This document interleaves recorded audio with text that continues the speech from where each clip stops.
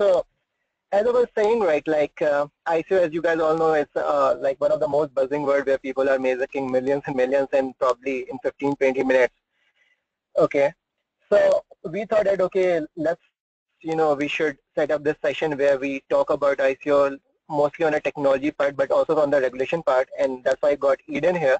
He has a good control on regulation side that, okay, how to do it, where to do it, if someone wants to do it, how to make sure that you, you know, the person who is raising the ICO is safe. So he'll be able to help us on that part and I, Umesh and Ajay will be able to talk on the technology part. So uh, let me start by describing this our platform, okay, that what we thought because we put a whole lot of thought process in order to build this platform, this ICO platform, the, IT Labs ICO platform. One thing we did is we followed some standards. So tokens generally follow this ERC20 and ERC223 standard. And the reason why uh, someone should follow it so that you know it is compatible with any third-party wallet. So that's one thing which we followed here.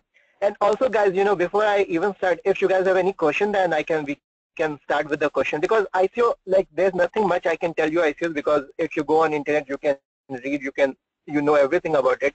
So why not, you know, this time let's start this, this way that if you guys have any question, then start with your question and we can take it from there. Hi, Neeraj. Hey, Dan. Can you hear us now? Oh, you are back, I'm back, Eden. Here, finally. Sorry, guys.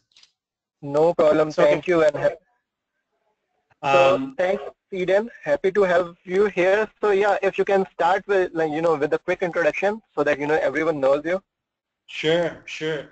So um, my name is Eden Dhaliwal. I'm um, right now working as the Chief Innovation Officer for Slant Lab. Slant Lab is a lab that's uh, been newly created by the Canadian Copyright Licensing Agency uh, to apply uh, mainly blockchain applications for creative for the creative industries.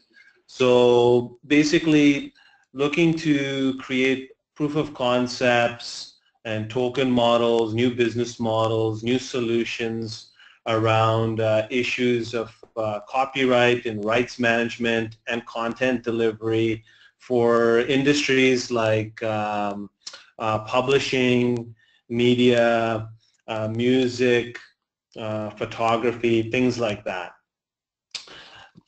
And um, prior to that, um, I've spent about 10 years actually just um, helping launch new digital uh, ventures. So I was just um, uh, spent the last five years in Berlin where um, I had a, a, venture development company that was helping corporates and startups launch new digital ventures. We focus mainly on uh, business model innovation, human-centered design, and then, you know, playing around with emerging tech like IoT, mobile, um, you know, other technologies as well.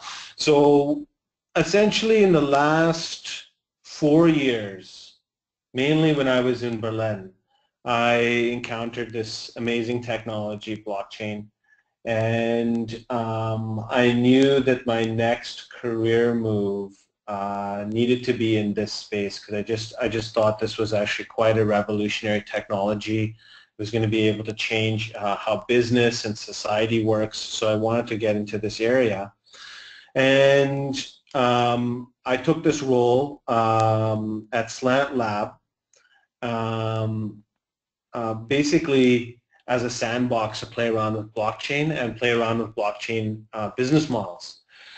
So as we've been playing with these, um, you know, prototyping new business models, one of the realizations has been that, okay, blockchain doesn't really fit in. A lot of blockchain models um, don't really fit in with your classic sort of, sort of uh, business model canvas. And, and, and essentially, we started examining, you know, these uh, these tokenized business models, right? Which is a new type of business model um, that's emerged through blockchain technology. And what we've discovered is is that these tokens, these coins, are actually not uh, just securities. They act as securities, but they can act as securities, but they're actually much more than that. So um, that's how we spent, um, how I've gotten into um, uh, ICOs and uh, analysis of token business models, um, really through this exploration through Slant Lab, and now actually working with through other uh, blockchain uh, uh, startups.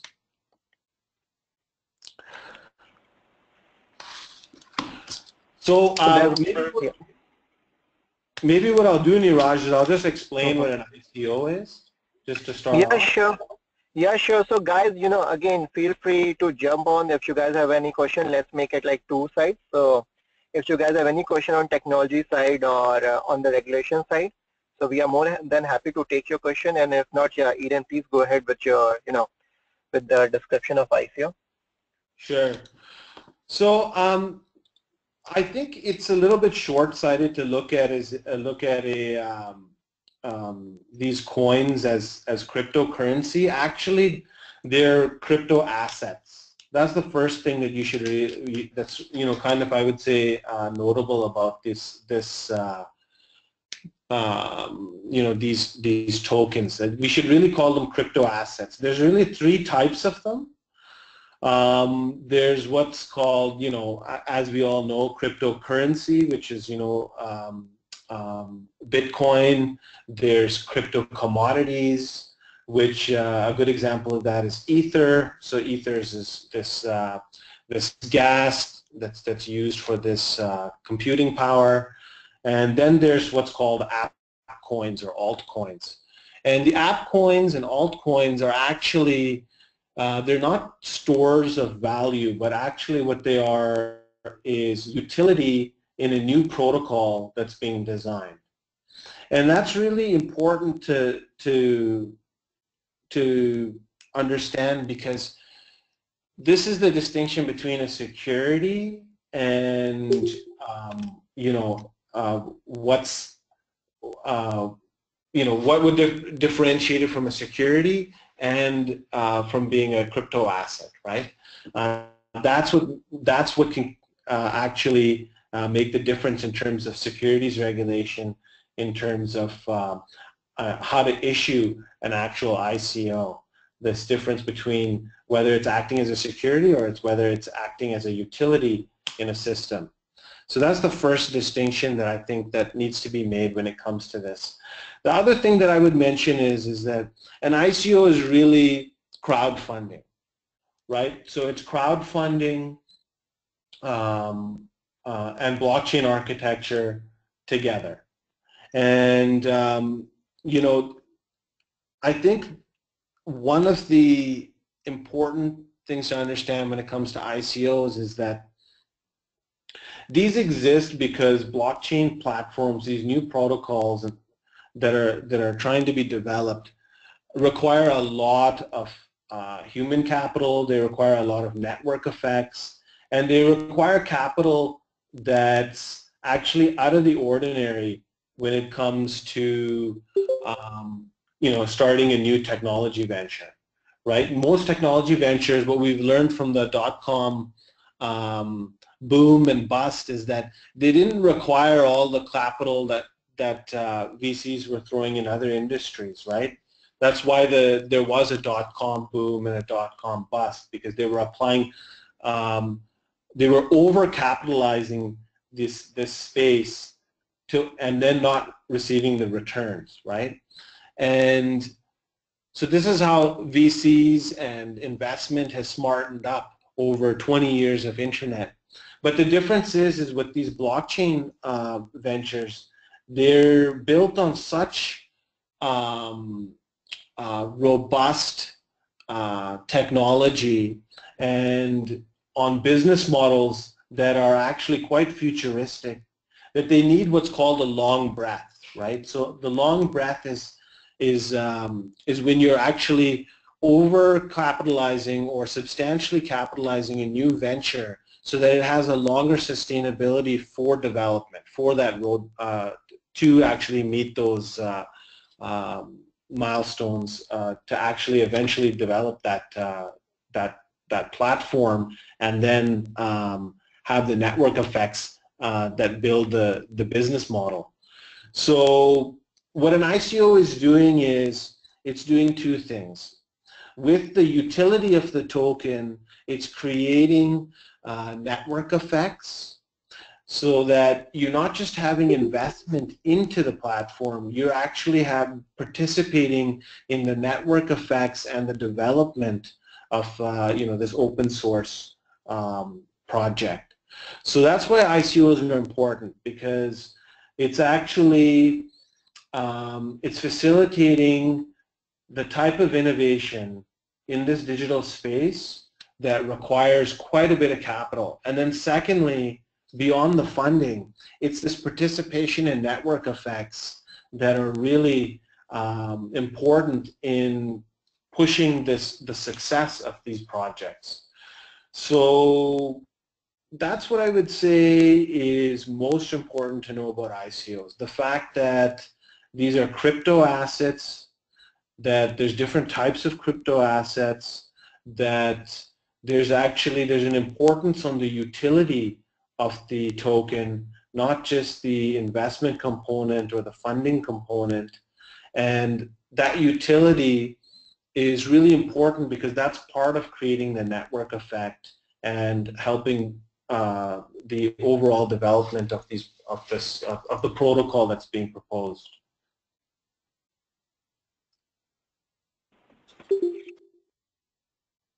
So Eden, I have a one question here. So do you think ICO is mainly for blockchain business only if suppose I have some other business which has nothing to do with blockchain? Suppose I want to open a flower shop or something like that.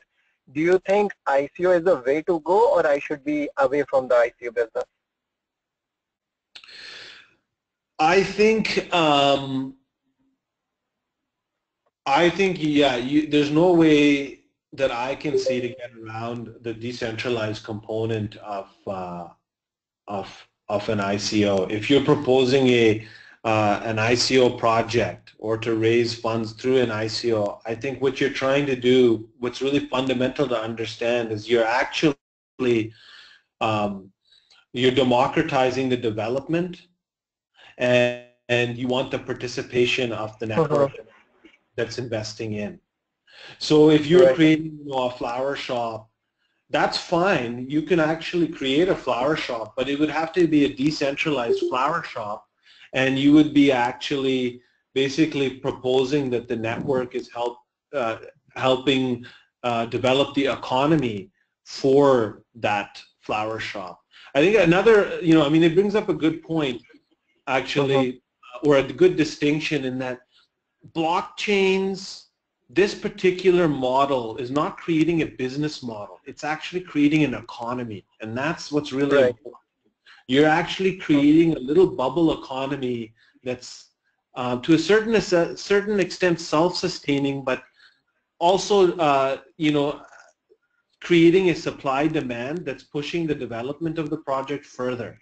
So I would say, you know, the it's it's pretty hard to get past having a decentralized component if you're going to issue an ICO. Otherwise, it'll just be merely a security. Okay. Yeah, no, that definitely makes sense. Thanks. So Eden, one of our participants, Dhiren, has a question for you. He says, uh, would you be able to provide any tips on how to identify a good ICO? There are many now and it is quite confusing to invest. Yeah, that's true. So yeah, yeah Eden, being on, being totally unbiased, maybe you know you want to take this question. Oh yeah, hundred percent. So I mean, this is part of the reason actually that um, uh, me and Neeraj are are collaborating. You know, you have an ICO platform. It's going to issue uh, all sorts of um, uh, ICOs for for the for the market to invest in. But then um, part of the value of such a platform would be to you know provide some sort of resource in terms of vetting uh, these ICOs.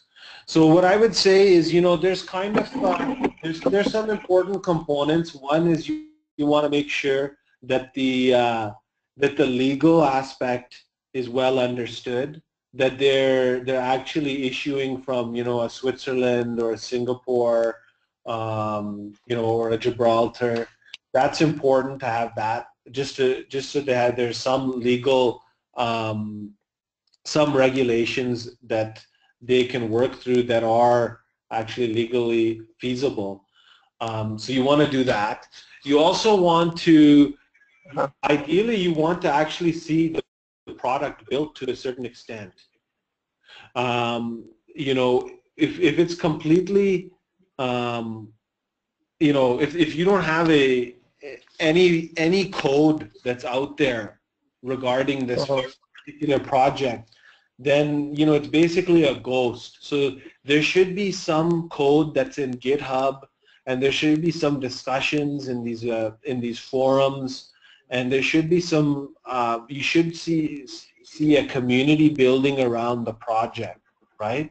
Another big right. thing I would say is that if you see a project that's pre-mined, that's probably one you want to stay away from, because pre-mining is basically you know, giving away a token. It's incentivizing the development of uh, this particular project through, you know, through the token, right? And it really should be um, incentivized through the through the economy and the function of the token. It shouldn't be some sort of pay, like shouldn't be payment oriented. So pre-mining is something that I would look for. If it's being pre-mined, I definitely wouldn't invest in. Um, and then beyond that, you know, I would say you want to make sure there's a level of um, uh, transparency mm-hmm. in, of the actual founders, understanding who the team members are, understanding, you know, what their backgrounds are. Have they launched a venture before? Do they have um, um, experience in blockchain? You know, do they have good advisors behind them? And then, you know, along with that, you want to also take a look, look at the vetting schedule, sorry, the vesting schedule of their tokens, right? If the uh-huh.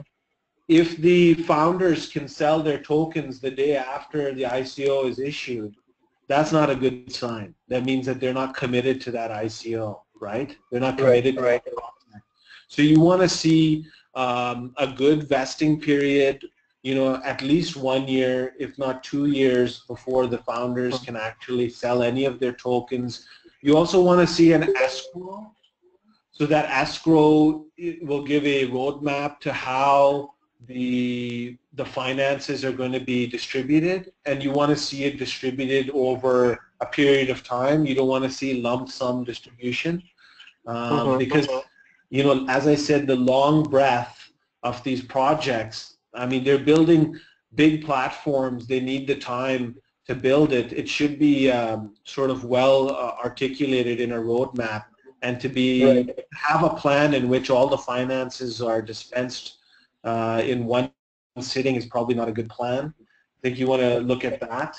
And then, you know, the difficulty is is actually the crypto economics, right?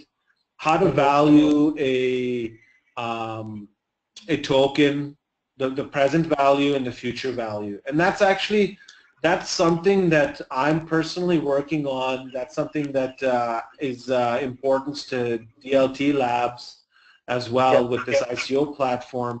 And I actually would, uh, at this point, say if anybody is a mathematician or an economist and is interested in uh, helping us build some models uh, in uh, evaluating um, or you know building a valuation of a token.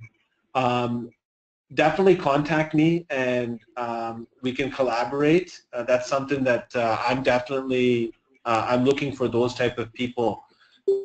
So um, you know we can I can give I can leave my email uh, or you can contact Neeraj if uh, you're interested in helping us out in terms of uh, building some um, some um, mathematical models around valuation. Yeah, that sounds great, Eden. I will share your details also with everyone. So if anyone wants to, you know, contact, they can contact you also directly. Thanks. That's okay. good answer. So Dhiren, I think uh, that's the answer to your question. If you have any counter question, then take the mic and to ask. And if not, then I would like to, thanks Dhiren. I would like to pass to Chetan. Chetan, do you want to take the mic and uh, ask your question? Sure. Uh, Can you guys hear me? Yeah. Yeah. Yes. Okay. Here's the question. Uh, let's say you want to start a P2P I, uh, platform ICO uh, in Canada. You will be collecting money for doing some kind of insurance. Um, so question is, how many regulators will be involved in this kind of scheme? Will it be just the insurance regulator? Will it be banking regulator or will it be the Securities and Exchange Commission kind of regulator? The question which I'm trying to, I mean, the point which I'm trying to raise is that on the blockchain, uh, the distinction between these regulators is very blurred. Yeah. In the physical world, uh, the separations are uh, quite well known, but on the Right. blockchain world, uh, the separations are so blurred. So how do you determine, at least in Canada, uh, which regulators you need to satisfy, and uh, is there any process in place to do that? Right. So good question. So, um, well, it just so happens I was asked to be on the advisory board for Blockchain Canada, and uh, Blockchain Canada will be working with the Ontario Securities Commission, um, which is the which is the organization that that regulates these tokens and these ICOs. You can pretty much uh, focus all your attention towards the securities commissions in whatever country you're interested in issuing a token. So right now in Canada, you actually can't issue a token. You can't do it. If um, if you want to issue a token, you'll have to set up in Switzerland and Singapore. And then what you'll have to do, if you want to be as compliant as possible, you'll want to do AML and KYC in the countries or to the residents of the countries that you issue to. So for example, you would want to set up in Singapore, do your crowd sale, but then do the, do the uh, AML and KYC in accordance to the Ontario Securities Commission um, in Canada um, so that you can issue to Canadians. So um, one, things I, one thing I will say is that uh, each province in Canada has its own securities commission, but the Ontario Securities Commission is pretty much the lead dog because, uh, as you know, the Toronto is a big financial hub and uh, they tend to, the other provinces tend to quickly follow Ontario Securities Commission. So if the Ontario Securities Commission um, um, approves and builds guidelines for tokens to be issued, um, then um, then I think um, you you pretty much be safe in Canada in general. But uh, you will want to look at a provincial level. But the main body you want to look at is uh, the Ontario Securities Commission. I hope that answers your question.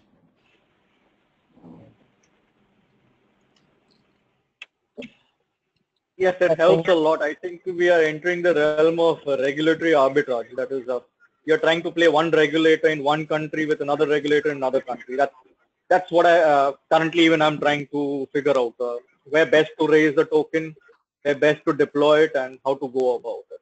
But, uh, Well, thanks a lot. That helps a lot. I'll tell you this, okay. If you look at these tokens, where they're actually, where the funding is actually coming from, it's mostly coming from Chinese market. So, uh, you know, the Chinese are trying to get their money out of China in, in many different ways, and this is actually kind of a very uh, cost-effective and uh, uh, private way of uh, getting their money out of the Chinese market. So, a lot of the um, cryptocurrency market is is happens to be dictated by uh, by China. And then the other thing I would say is the European regulation is actually much more lenient and open than the North American markets right now. So that's why you do see more. Um, if you looked at the the volumes of where the investment is coming from, you'll you'll find that there's disproportionately China, and then after that, uh, a European base. Right. Thanks, Eden. So, guys, any any other questions for Eden? Yeah. Uh, hi, Eden. Uh, this is Mayank. Hi. So I had one question. So I had one question, like you said uh, about the returns thing that, you know, when the dot-com bubble was there, uh, you know, but like, you know, when I see the ICO thing, it kicks me more like a Kickstarter where like, you know, where you are investing in a product and you'll get the tokens for that product. You can't do much with those tokens. So like, how do you, I mean, how do you, will, how will you define returns on those kind of things? Yeah, so I mean, there is the naturally there is the um, there is the um, it does seem like a Kickstarter project, and I don't I don't think that's wrong to actually kind of view it that way. The difference is is what the what the offerings are are much more sophisticated than uh, than than the stuff that's on Kickstarter, right? On Kickstarter, I mean, I know there's a lot of different projects, but if you think of for something like, for example, Storj, they're offering tokens uh, for storage. And then you think of the massive storage um, market that's out there and the and just how much of the storage is unused. That you know, a lot of companies buy storage and they're not even using it. So it it can create actually its own marketplace of exchanging the tokens for you know for storage that isn't even used. And I think this is the real distinction that there is a marketplace and economy to be formed of services um, you know in which you can earn exchange and uh, and and spend these tokens. So there's a supply and demand that can actually be quite liquid through these assets. Whereas in Kickstarter, it's true, yeah, you invest in it and you get something, but it's actually the liquidity and the exchange that makes it, um, well, you know, it just it's not it's not like an ICO in that in that sense. Okay. Okay, and one more thing, like you know, ICO is as you said, it uh, it you know makes. Uh, I mean, it gives you a crypto asset kind of thing. So when you go, like you have, you know, mm, so many kind of you know new, new projects coming in, new crypto assets coming in. So uh, like how you know because when you see that it becomes difficult to you know transact you know you have to maintain a separate address you have to maintain a separate account so like these complications come so like you know is there any way to resolve them all those kind of things because it's a huge you know ecosystem you can say Yeah, yeah. Well, I mean, I think this is part of the challenges of this this technology, right? There's a lot of infrastructure, and there's a lot of user experiences, and and you know, new business slash economic models that still have to be figured out. So you know, those pain points, people are trying to figure it out. They're trying to make it easier, and people are spending, you know, spending a lot of time and money and effort and investment over that. And I think, you know, I mean, these are the type of things when, when people say, when will blockchain be mainstream? It's when these things get solved. So the bad news is, is that these things, you know, the adoption will take time because it's dependent on these type of things. But the good news is, is that if you can solve some of these challenges, you probably are onto a, you know, quite a successful um, um, project slash business. Mm, yeah i agree yeah thanks thanks for the answer Okay. Yeah, And- no- So next question is from Ayush. He's asking about the security. Maybe I can take those questions. So he's saying, how about the security attacks and how much is it secured? As we can see, nothing in terms of data is secured. So Ayush to answer your question, see, in blockchain world, we all have heard that there have been certain number of attacks, okay? But neither of the time, blockchain has been hacked. No one ever has hacked blockchain system what was hacked or what has been hacked is the exchanges or crypto, you know, the front part, not the blockchain. So there's an integration between the front, our world, or you know, the middle tier and the blockchain. So the problem is the developers who are doing this ICOs or who are creating this platform or who are creating this exchange, you know, they are not bank developers or they do not undergo training. They do not know how to do finance development. Okay. So when they write a middleware, they do not integrate it properly with the blockchain or the middleware itself is not secure. And that's what we see during the DAO. Okay. DAO was not a problem with Ethereum. It was a problem how the contract was written.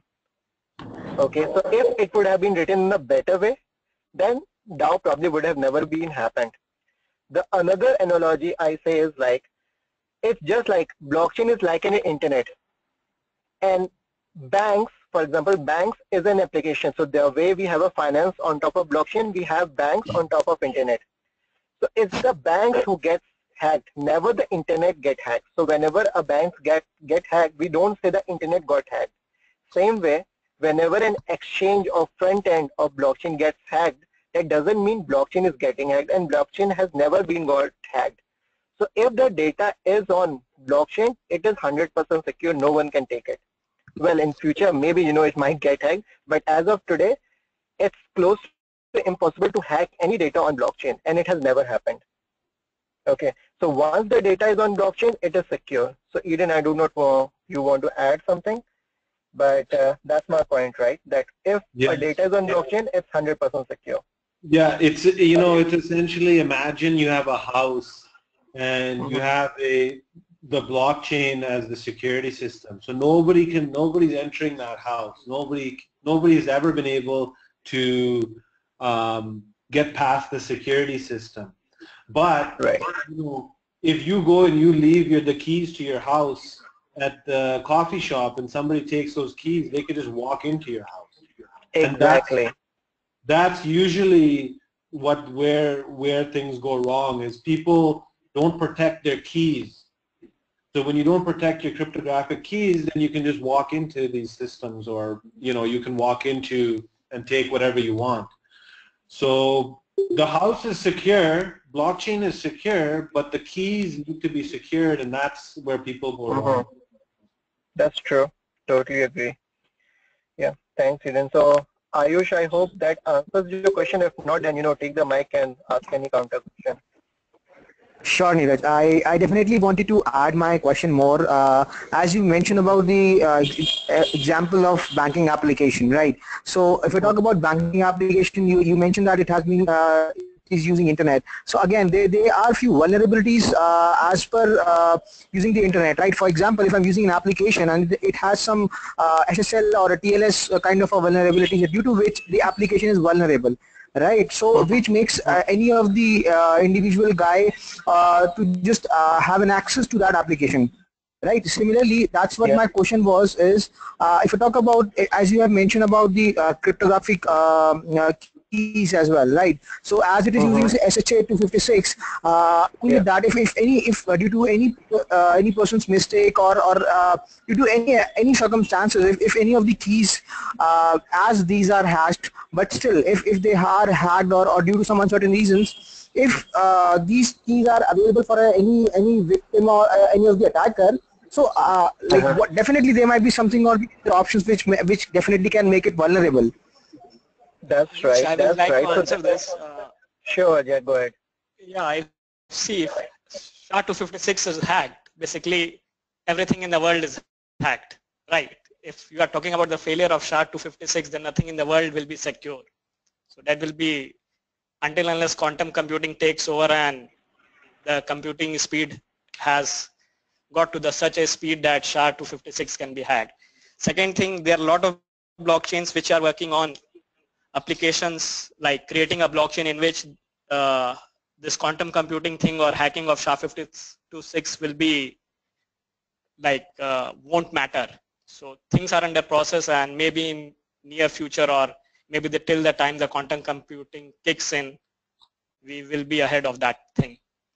Yeah, and just to add on it, so um, you mentioned right that okay, uh, for example, uh, this connection between the two networks or uh, you know the protocols and everything. See what I was trying to say is internet what is internet? Internet is just an infrastructure on top of which application runs okay? And that can be any application. It can be application that connects to so even the www internet protocol or anything is an application which runs over the internet platform or the internet infrastructure what blockchain is blockchain is nothing but it is just an infrastructure okay at any point of time internet has never been hacked I mean to say the platform itself can't be hacked.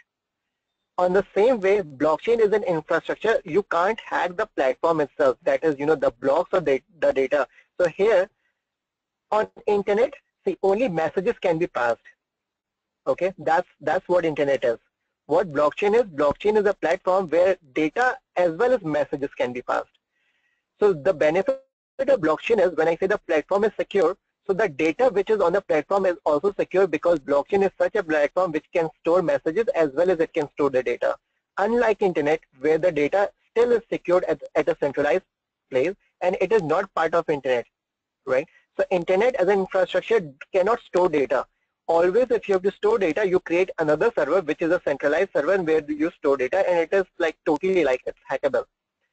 But on blockchain, the data itself is over the internet and and the infrastructure cannot be hacked. That's why we say, you know, the data, since it is on top of a uh, blockchain, it cannot be hacked. It's a little complicated to visualize what I'm trying to say, but think about it and then you will see, you know, what I'm trying to say. It's data and internet at the same level, unlike internet. Uh, hi, Neeraj. Hi, this is Raj talking. Yeah. Uh, so I had a question. So how are you securing these uh, private keys?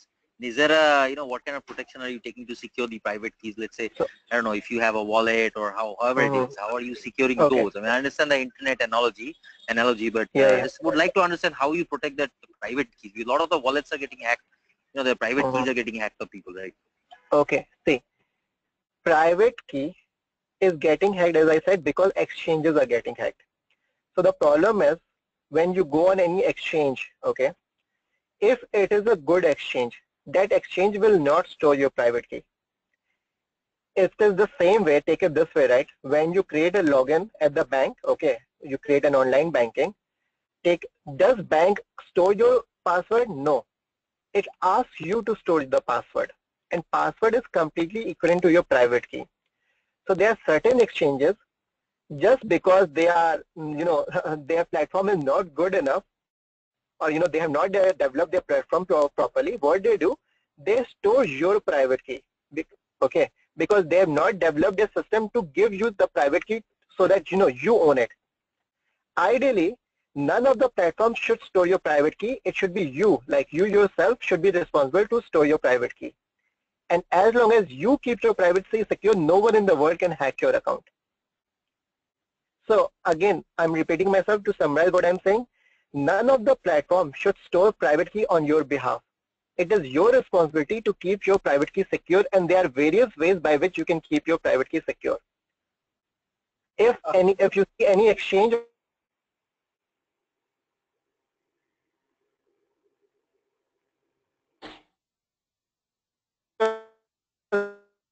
something is storing your private key, that's wrong. And that's why it is getting hacked because it is got uh, disconnected. So I was saying it's very easy for you know hackers to get into the database of Exchange and store the private and you know pick up the private keys from there. But if you have somewhere somewhere with you, then it's close to impossible to hack it. So um, does that make sense? I just wanted to mention that you know. Yeah, go, go ahead. I'm I'm uh, I'm actually working. Uh, one of the companies I'm advising is uh, trying to solve this problem of managing your keys, right? Managing your cryptographic keys. So actually what, what we're proposing is that instead of trying to manage these keys, that you become your key. So either through uh, exactly. uh, fingerprint or facial recognition, um, and and and then therefore you know you actually become your cryptographic key. Then it's a lot easier to take care of because right now, you know, a lot of people are doing a, you know, it's still a, a kind of a, a, not a headache, but you know, it takes a lot of effort to manage your keys sometimes. Exactly, totally. That's right. Yeah, and in coming days, that's what we will see that, you know, private keys will be secured by some, you know, biometric stuff, probably, you know, eye retina or fingerprint or something, right? But again, it's the same thing, right? That, you know, if you, it's your phone, right? If you open your, uh, if you don't lock your phone, it's your problem. But the thing yeah.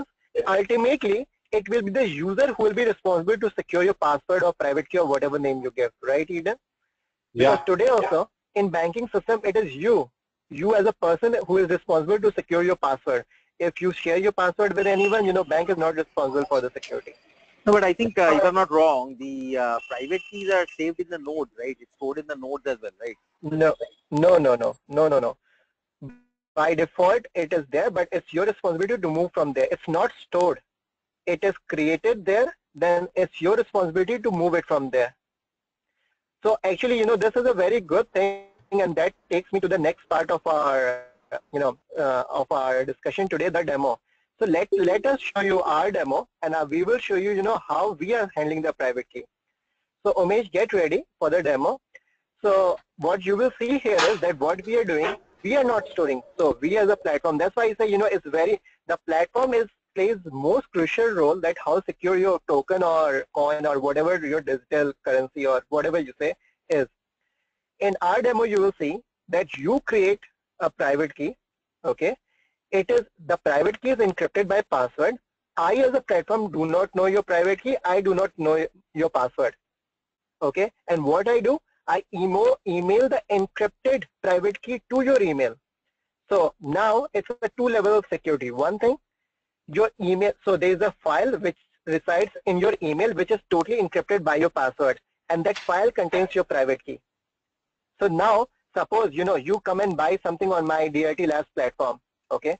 And my DLT Labs platform gets hacked, you know, someone you know takes away the middleware, frontier, everything.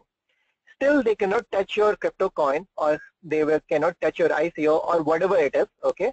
Because you have the private key. No one else in the world has your private key. What other exchanges make a mistake is because they do not know this technology of giving the ownership of private key to the user, they store the private keys. If they get hacked, then everything is gone. Make sense? So I think let's jump to the demo part and that will make things you clear because whatever you said that is not right. It's not the node which stores the private key. Nodes help in creating the private key, but it's it you know, there, there, there is a, we have designed, like as a part of DLT Labs, we have a design, we have designed a system where we give the ownership to the user to store your private key securely with you. And we have made quite easy. And that's what we will demo. Fair enough. So since we have limited time, so I'll jump on the demo. So Umesh, you are ready for the demo, right? Yeah, yeah, Neeraj, I'm ready. So yes, let's get started. So uh, guys, a quick note about this demo. This platform another uh, you know good part of this platform is we are running it on Rinkeby test network, and I think that's the right word, word Ajay, right? It's Rinkeby, right? Ajay? Yes, Yeah, yeah, yeah. And probably this is one of the first platform which is running not on proof of work, but this is proof of, proof of authority, authority, POA. So two special things that yes, this is we have tried to make this platform, you know, as secure as possible, as easy to use as possible. And also this is not running on proof of work. This is running on proof of authority. So guys, if like we will start with the demo and if you have question, you know, uh, let us know. So May shall, you know, all the control to you. Get started with the demo and, you know, try to explain each and every part of it. So especially the security part so that, you know, everyone is okay with the security. Sure, sure. So uh, I hope my screen is visible to everybody. Yes, Umesh. Yeah. So uh, actually, uh, we made this platform as generic as possible. Uh, we can customize it uh, as per like our client need, and uh, so in this platform, what I am going to show you guys, like the offering is already all smart contracts are already deployed. And how a user can come and purchase a, a coin and uh, what all the things he can do with that. And this is the flow. So like uh, So, so one thing, one thing, Umesh, I can add is, so the way we are doing here is, we are not saying that, you know, you can come and create your own coin here. The way we have modeled it in order to make it secure, that suppose you own a company XYZ, okay?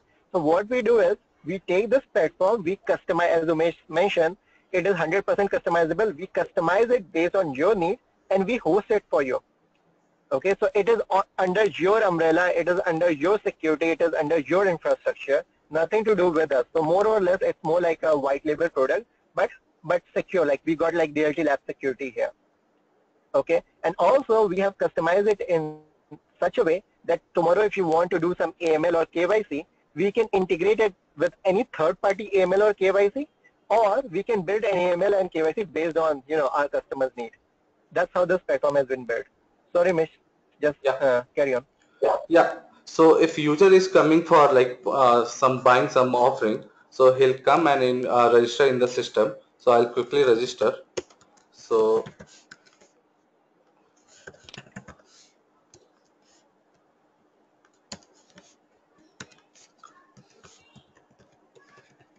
I hope it's uh, visible to everybody, right? So as soon as I uh, sign up in system, I uh, it will trigger one mail to verify email. So once it is verified, user can log in from here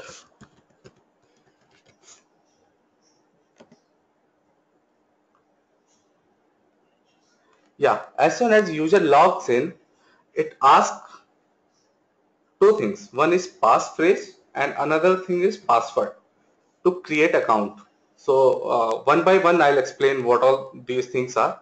So passphrase is just some random uh, sentence that you that you can use. So this passphrase will be used to generate your uh, uh account and private key so this account is like uh, uh, this algorithm is used such a way that is compatible with the every wallet and it is working with the, all all the wallet in the like blockchain world. So so as I as I told like this passphrase using this passphrase you will be able to generate your account and private key and here is password so you can see like title here for password enter pass password to encrypt your private key as a, as a platform we are not storing your we are not storing your private key at all. So whatever private key will be generated on the fly that private key will be encrypted using this password. And that encrypted value will be sent to you. You have to store that encrypted value and you have to remember your password. Without using both of them all together, nobody can access your system, your account. So I'll just go ahead and uh, create account. So as soon as, soon as I am uh, I am into system, uh, I am in my wallet section. In my wallet section, you can see uh, like your wallet address is generated here. So this is your wallet address where you can store uh, ether as well as offering like whatever coin offering is there. Currently we have uh, uh, DLT tokens that can be uh, purchased. So as soon as this wallet is generated, uh, this address is generated, you'll see you'll you will see one uh, one more trigger to one more mail is triggered to your system and it is saying this is your authorization key. And for for doing any transaction for doing any transaction in the system you have to use this authorization key. Because I, as I specified earlier also as a system we are not storing private key. We are generating on the fly using this authorization key and your password.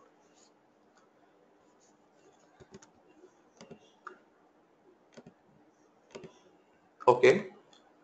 Now for uh, for buying some DLT tokens you need to have some ether. So currently uh, we are not having any ether because we just created wallet. So either we can fetch it from some other account or we can purchase here also. As a system we are uh, we we are having that capability as well. So but currently the system is uh, deployed on Rinkeby uh, Rinkeby test network. So uh, and this is like uh, we need just a test ether to do that. So there are faucet. You can uh, using using that faucet you can get some ether. So i'll just try to get some ether from the Rinkeby faucet.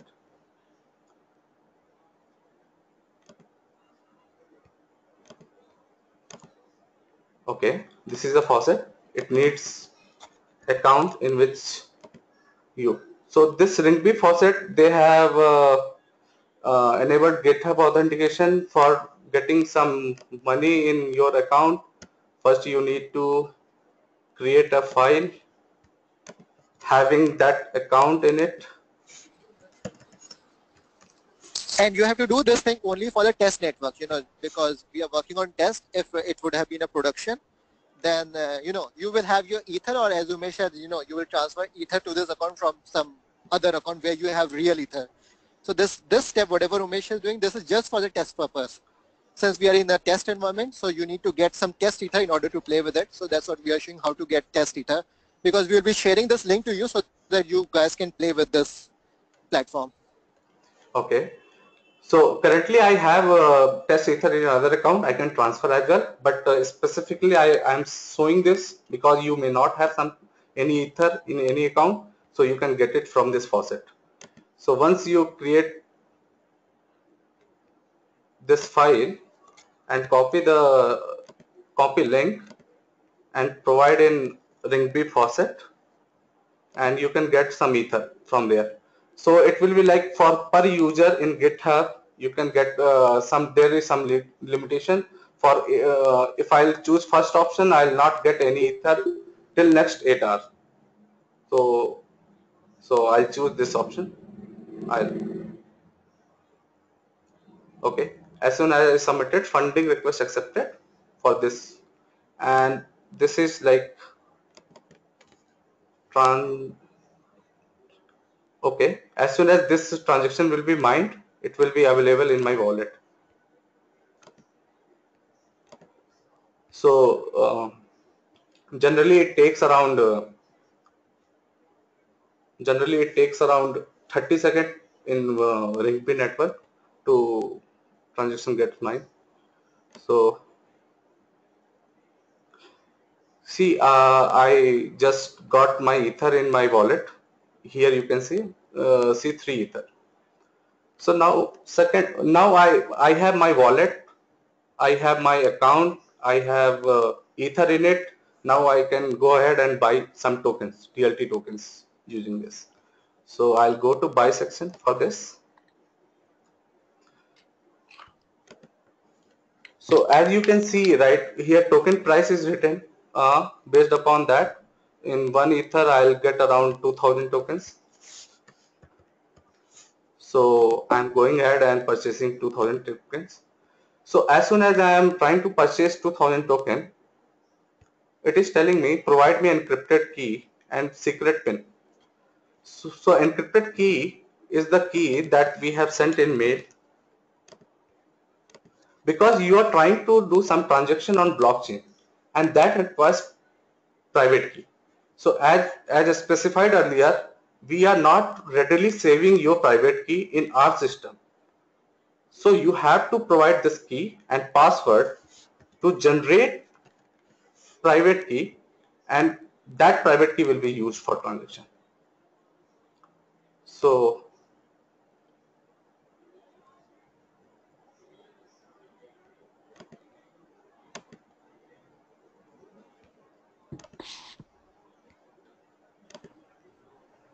So in that meantime, Umesh is doing this transaction. So guys, I will have to drop. Uh, so thanks anyway. So I'll drop, but everyone else will be there. Also, I will add Eden to our Slack group. So if you guys have any other question, you know, you can ask on our Slack group. If any one of you is not connected on a Slack group, then, you know, make a request, let us know. and we will add you on our Slack group so you guys can ask question to Eden directly as required. All right, thanks. Umesh, continue, carry on. Thanks, guys. Thanks, thanks, Neeraj.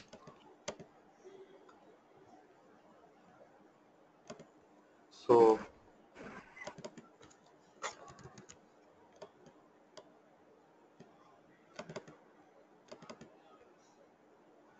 just let me copy this properly.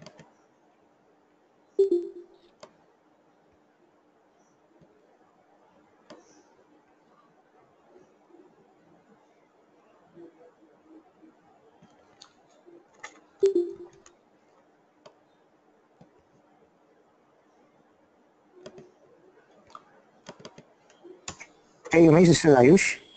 Yeah, Ayush. Uh, I have a query, like you mentioned about the private key, right? Yeah. So uh, while the transaction, uh, private key will be generated. So uh, where will that private key be stored? private key, that's what I'm saying. A private key will never store it. So whatever private key will be generated will encrypt using your password. And that encrypted key will be sent to uh, uh, mail. Okay. And then. Uh, so if, if, if yeah. So if uh, we are having a transaction between two people in a peer, uh, how will that get validated uh, about the keys? Like there will be some some verification done, right? While while having the transactions, or how is it? No, no, I am not getting your question. Can you come again?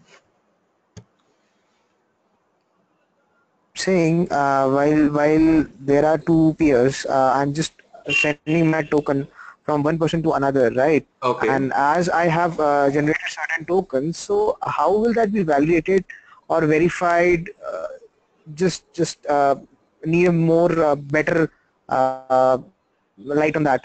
How will that work? No, no. Actually, it's inher inherited. Uh, like it is inherent inherently will do like that. Your account can't be accessed without your private key.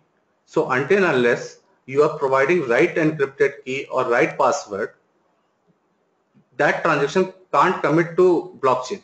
So if transaction can't be committed to blockchain, so obviously that token will not be transferred to some other party. I guess the question uh, he's trying to ask is, typically in a blockchain environment, there will be validation of the data, right? The, the guy who is sending uh, and the guy who is receiving and if there is any double spend or things like that, right? Yeah. yeah. So do you require uh, the private key in order to, for the nodes to do such validation is I think is the question. No, we don't require that.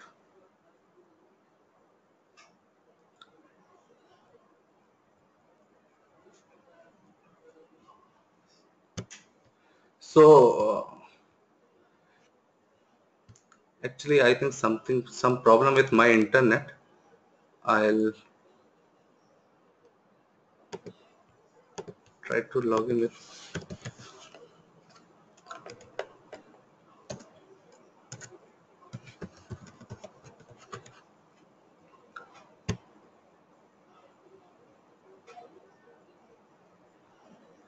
okay so uh, yeah uh, actually this is some existing account. Now you can see already 1500 token is there and there is some ether and uh, um, this is address and this is the same wallet we talked about. So what I'll do uh, I'll uh, try to buy more uh, more token via this account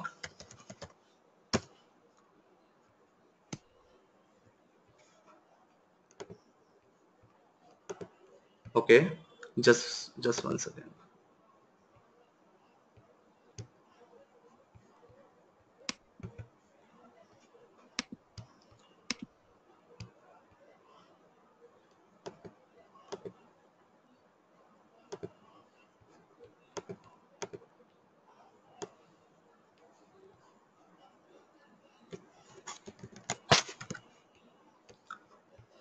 So I'll go to buy section and already 1500 token was there I'll try to buy some more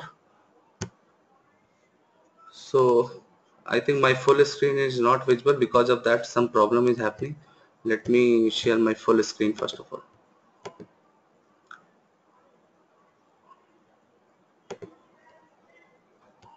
Okay.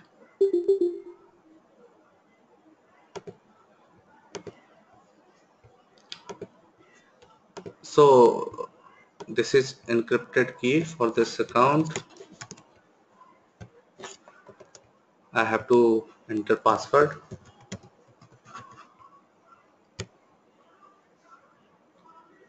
So now, uh, like you, you can see, right? I tried to purchase 2000 more.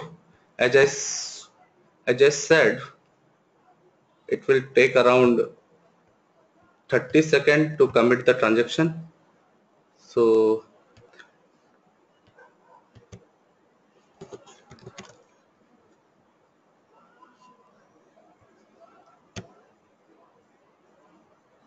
So now you can see like I have 3500 tokens and my ether balance got detected and transaction history is maintained here. So uh, now I have token available with me. Now what all things I can do? I can transfer somebody. I can so so I can transfer somebody. So first of all, I'll show that part. Then I'll talk about the whatever token is created using a smart contract. So I have uh,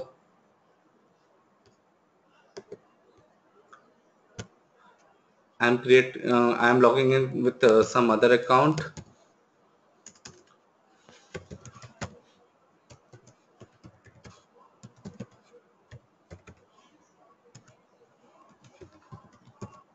whatever just I created.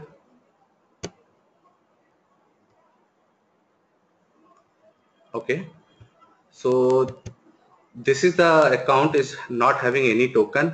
So I'll try to transfer some token to this account. This is adjusting account. Now I'm going to Umesh and I'll try to transfer some token. So currently 3500 to token is there so I have to transfer to this account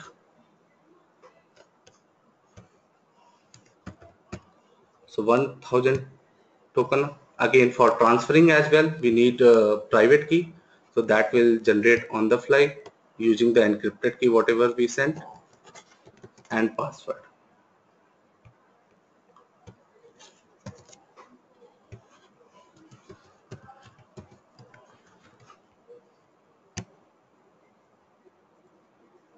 So now I'll go to my wallet.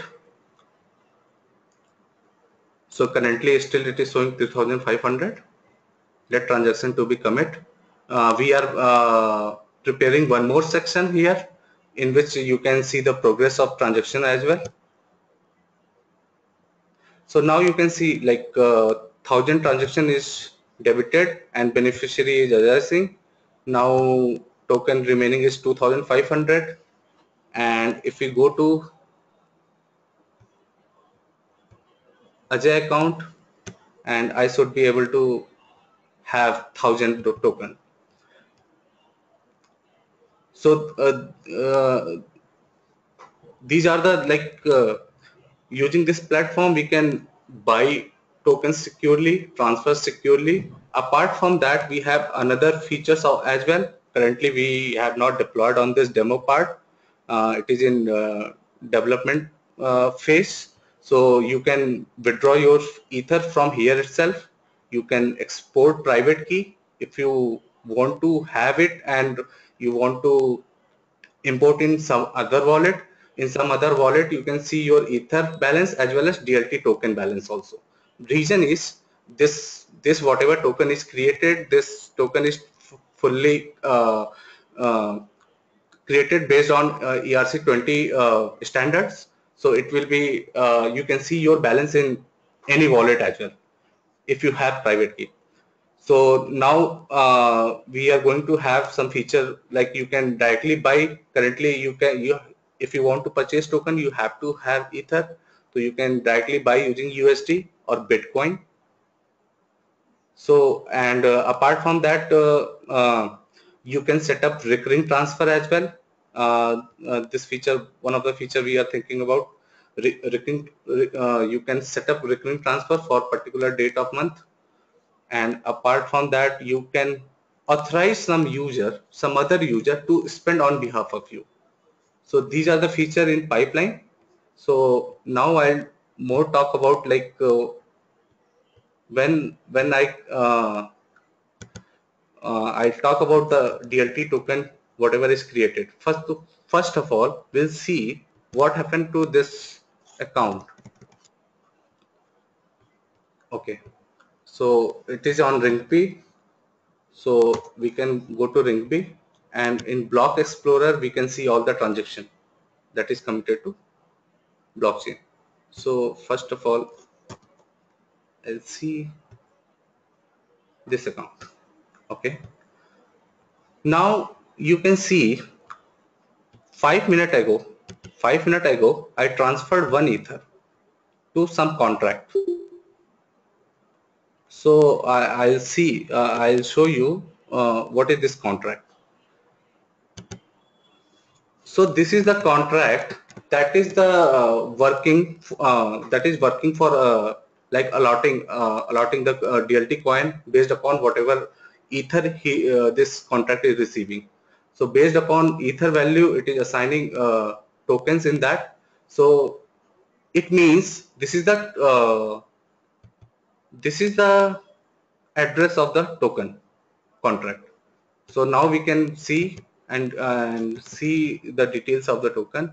So if you go to ERC20 token search, if you place the address of the token, contract if i'm searching you you can see few things here so uh, total supply till date is this much and name is dlt coin symbol is dlt and uh, decimal decimal means uh, uh sorry uh, decimal means after decimal what is the lowest possible unit of this coin that you can transact? Like if, if it is 3 so 0.001 is the lowest that you can transact so now here you can see uh, it is able to search here because it is fully compatible with the standards. And even you can see here it is giving the link for uh, ERC20 now if I'll go to this token and in token transfer events if you'll see 1000 1000 token I have transferred to some other account. Okay May, so let's see. ABE 8 I transferred to Ajay. So ABE 889 is like I ABE 889 I transferred 1000 it is it is showing one because 1000 I am uh, considering the lowest unit of the so it is like 1.000 so it is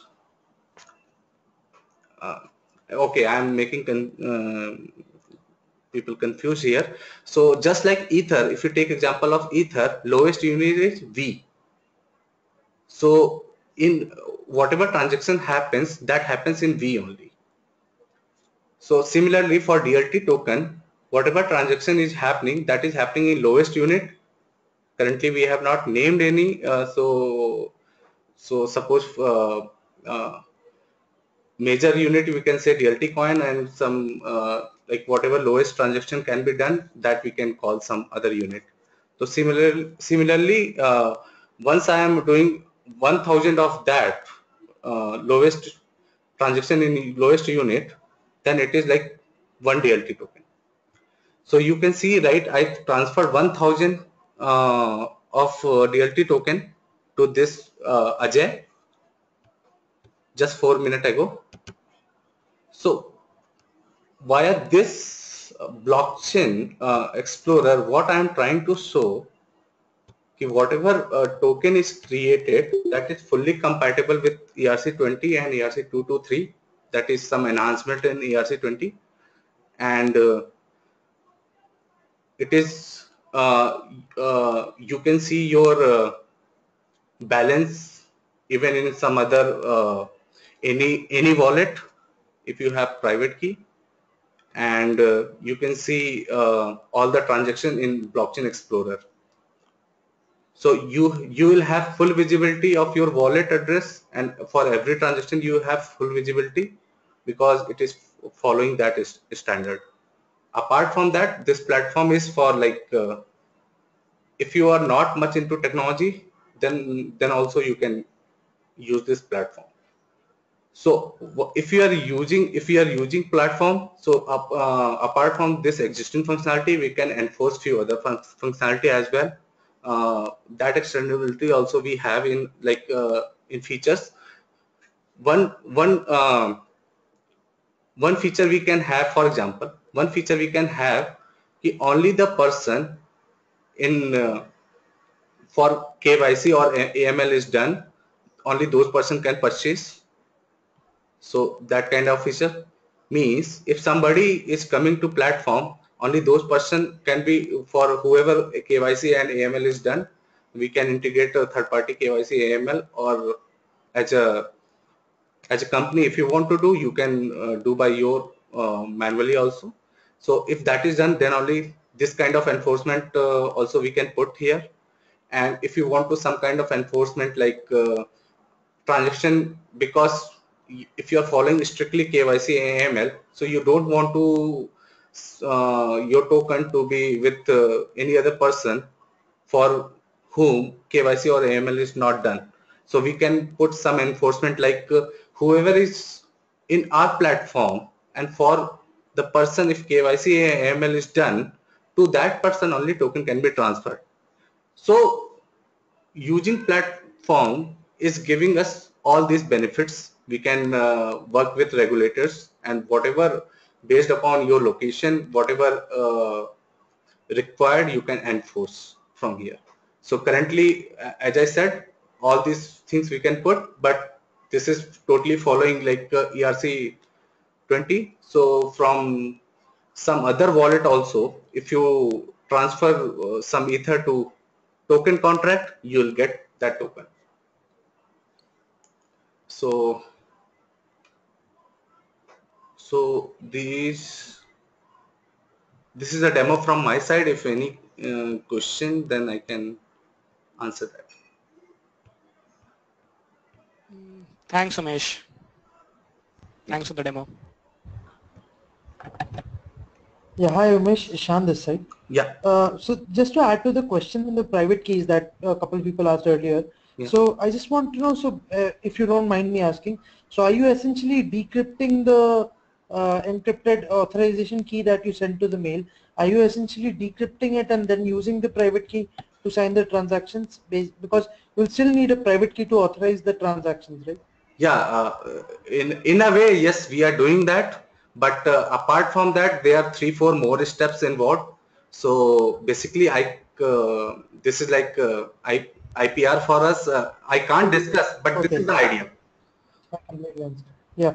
So it's not one step only. It it it involves like four five steps. In that for uh, that authorization part happens in the, those four five steps. Okay. Thank you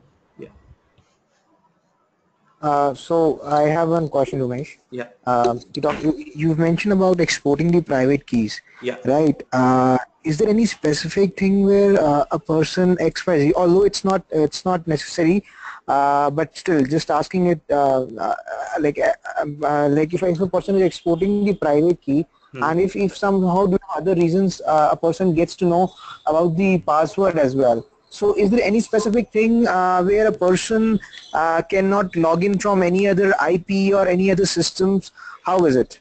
Yeah, uh, if that's what uh, I said, ki, uh, using the platform provides me flexibility of those things as well, putting the restriction. So, so if my token can be purchased from my uh, my platform only or can be transferred to the person who is in platform only means if KYC and AML is done for that purpose. First of all, that person is not totally anonymous if you want that kind of restriction I'm talking about. So first of all, that person is not totally anonymous, and uh, like uh, and we we achieve lot of security in this way. But still, if you don't want to put those restrictions, so uh, we have flexibility to export your private key, and using that private key, you can uh, you can see your uh, uh, balance in any any wallet. So uh, I'm not sure whether Basically, I the concept of uh, basically the concept of exporting private key is that you should be able to use your account from any other application apart from DLT Lab if this is hosted on a public network.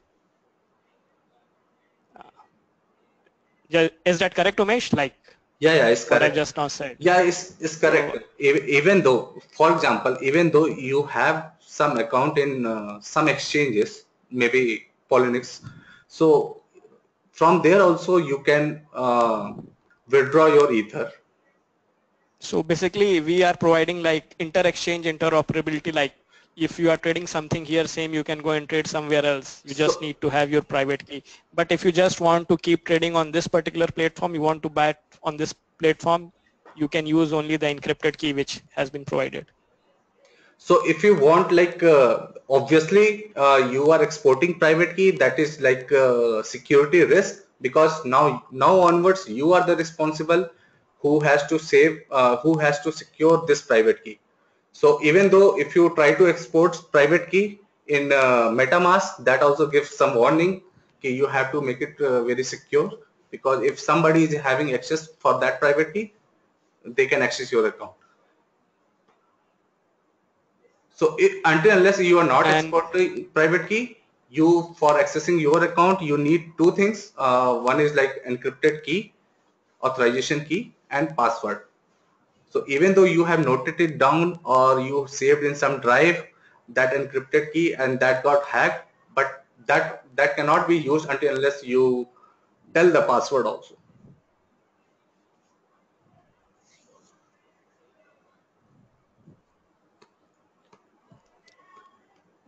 Is that answer your question? Yeah, that answers. Okay. Do you mean to say import or do you mean to say export? Just want to clarify. I mean to say export.